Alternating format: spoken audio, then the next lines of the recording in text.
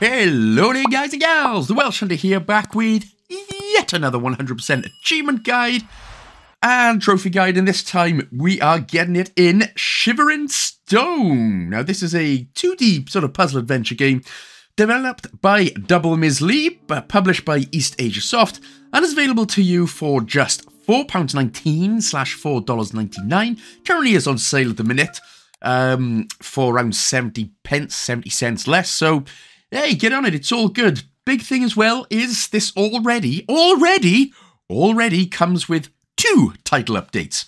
So you'll get 3,000 gamer score just from playing um, all 50 levels. So originally on the PlayStation, uh, if you're playing the PlayStation version, you, you only have to play up to level 35 to get the platinum and get to level 50 to get the full 3,000 on Xbox. So this is basically a, I don't know if you remember the very early Pokemon games, that one ice sliding puzzle, which done everyone's head-ins before the times of the internet.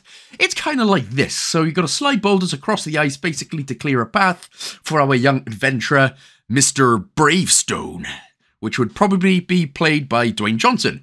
Um, achievements, as I said, all you need to do is get to level 50 and that will complete every single achievement. Um, so we'll start off here then. Again, this is only going to take between uh, 45 to 50 minutes, so let us begin. So literally, as you can see there, left stick to move, A button to action it, and the, the Y button, as you can see there, will reset the level. So if you do end up going wrong, just um, you should be able to just press Y or triangle. That'll reset the level, and that'll be job done. Now, normally I do provide L commentarios in these particular videos, but this is quite a chilled but very easy game, and I'm ho I hope that I I go slow enough in this one that um, you can just follow along easily. My voice, I know, sadly for you guys, I'm so sorry, uh, but it is not particularly needed with this one.